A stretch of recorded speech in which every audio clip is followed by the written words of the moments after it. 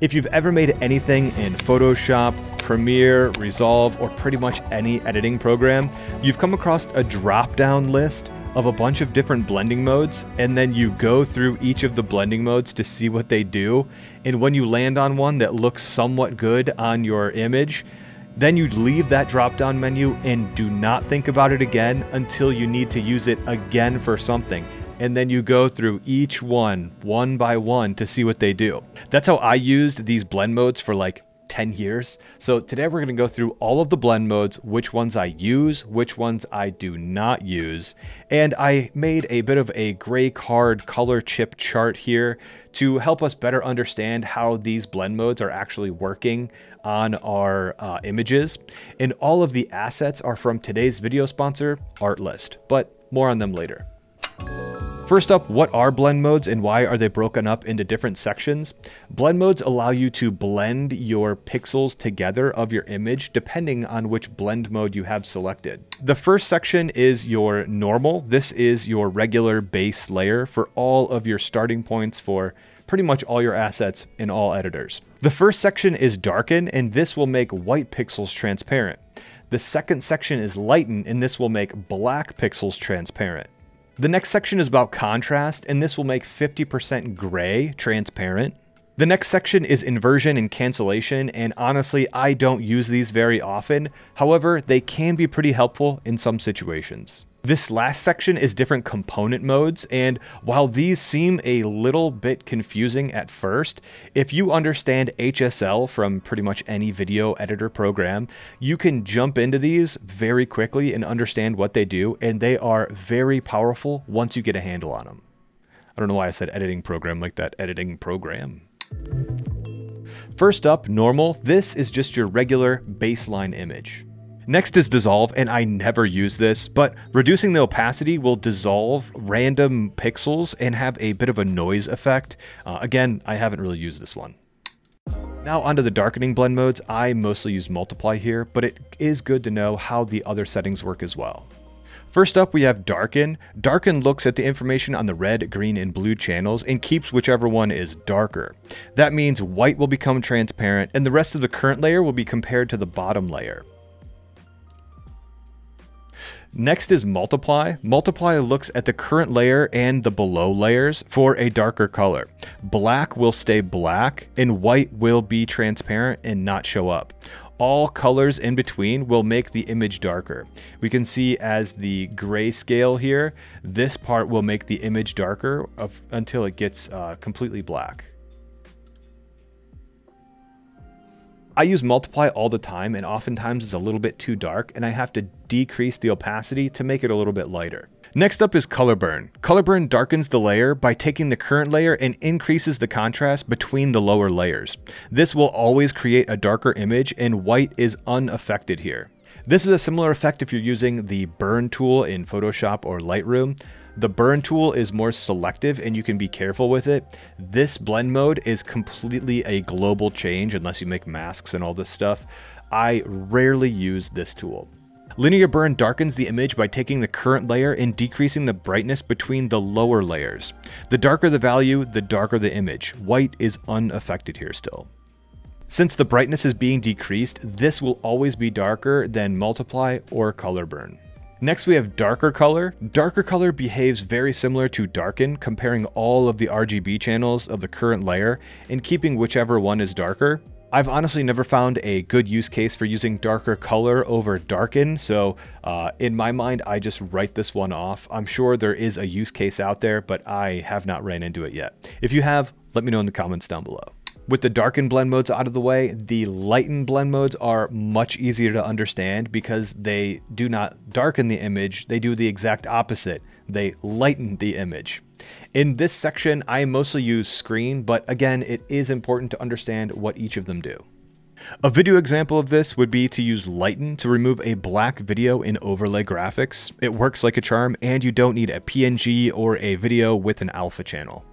In this example, we have the embers flying over the car, and all we had to do was change the blend mode to screen. For lighten, this looks at the red, green, and blue channels below the current layer and keeps whichever one is lighter. That means black will become transparent and the rest of the current layer will be compared to the bottom layer and keep whichever is lighter. Next up is screen, and screen is the exact opposite of multiply. Screen takes the current layer's colors and multiplies the inverse to the other layer's colors for a lighter color. What that means is white will stay white, black will be transparent, and all colors in between will make the image lighter depending on the luminosity. Darker areas of the current layer will have a very small brightening effect, while the lighter areas will have a much larger lightening effect, and white will stay 100% pure white.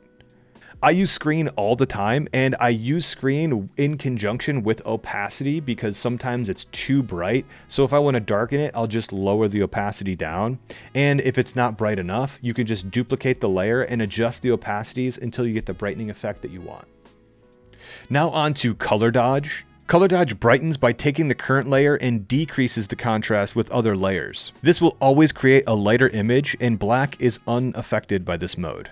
This is a similar effect to using the dodge tool in Photoshop or Lightroom, uh, but again, it's just a dodge tool of the entire current layer. So if you have a lot of things to dodge, this could be good, but I rarely do this and I just prefer to use the regular dodge tool. So again, I rarely use this one.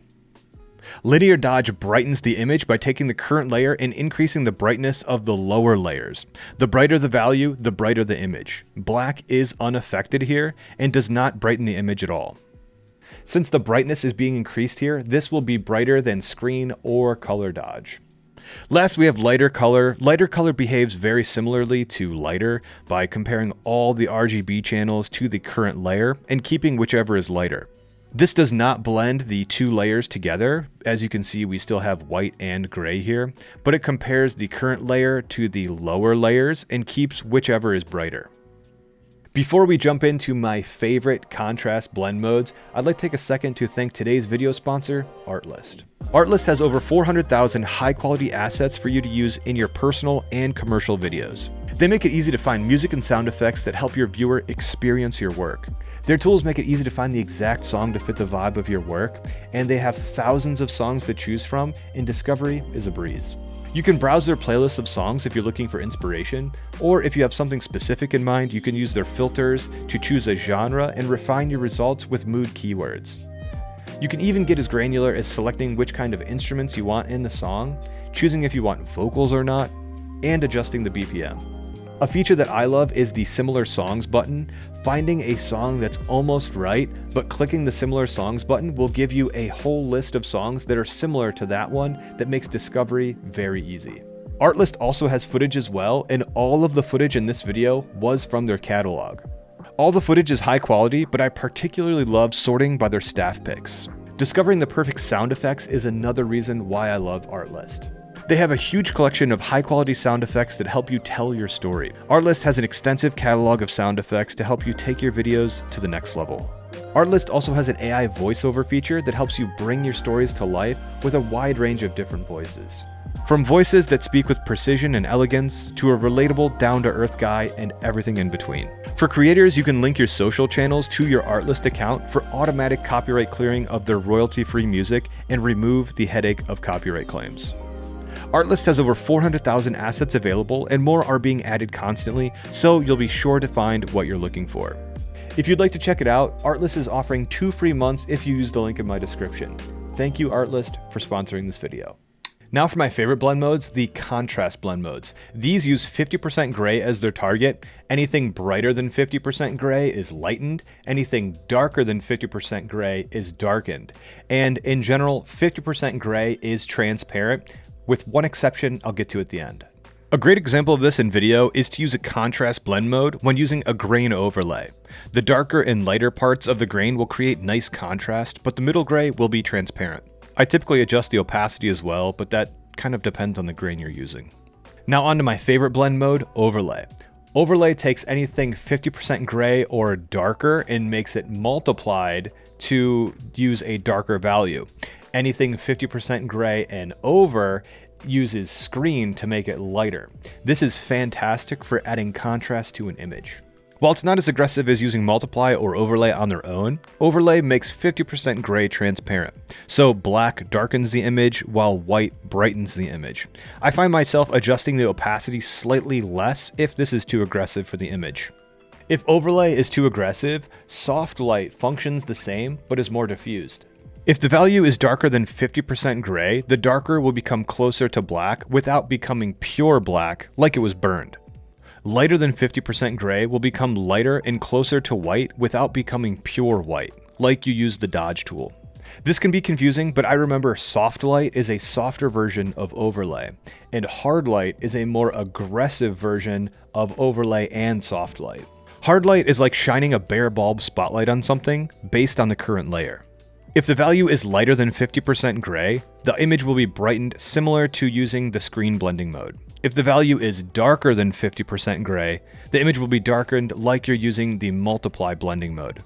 This isn't exactly the same as using multiply or screen, but it's close. And because of that, we can have 100% black and 100% white, while 50% gray is transparent. Vivid light is even more aggressive than hard light. Vivid light increases or decreases the contrast by dodging values brighter than 50% gray and burning values darker than 50% gray. This is good for increasing or decreasing contrast in an image, however I always adjust the opacity or fill when using vivid light.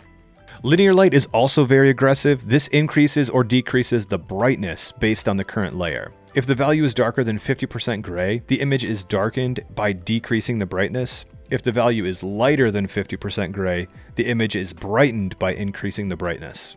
Again, I don't use vivid light very much, but when I do, I always use the opacity or fill to dial in exactly what I need. Pin light replaces colors depending on the current layer's value. 50% gray is transparent, and black and white show up on the current layer. This is pretty much reserved for washing out an image with color or special effects. I've never really used this mode too much. Hard mix is another one that I've literally never used, and I had to look up the definition for it. Hard mix adds RGB channels of the current layer to the base layer colors. If the result is greater than 255, it's pure black. If it's lower, it's pure white. All values are either RGB or CMYK. Uh, there's probably a use for this blend mode, but I just don't know what it is and I've never used it. If you know, please let me know in the comments down below. Next up, we have inversion blend modes, and these ones are pretty stylized. Next up, we have difference, and difference inverts everything based on their brightness value. This ranges from black not inverting at all to full inversion of 100% white. Exclusion is very close to difference. Black does not invert the image at all. White is full inversion, but 50% gray remains unchanged. Subtract inverts the values. Black has no effect, but the lighter colors darken the image. Despite what math says, divide is the opposite of subtract here. White has no effect while the darker colors brighten the image.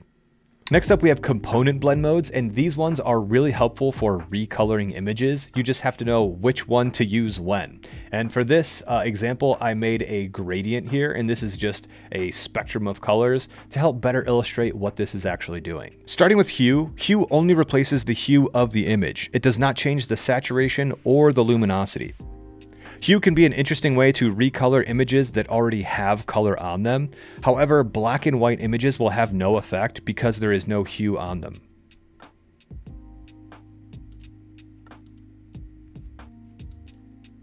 Saturation takes the hue and luminosity from the base layers, but it takes the saturation from the current layer.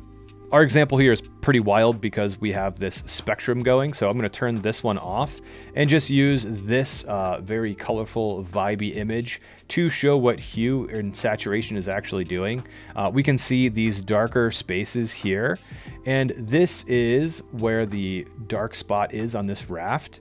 So this is taking the saturation of this current layer here and applying it to the layers below it. So it's a very cool way to get a interesting effect if you have multiple images you want to blend together.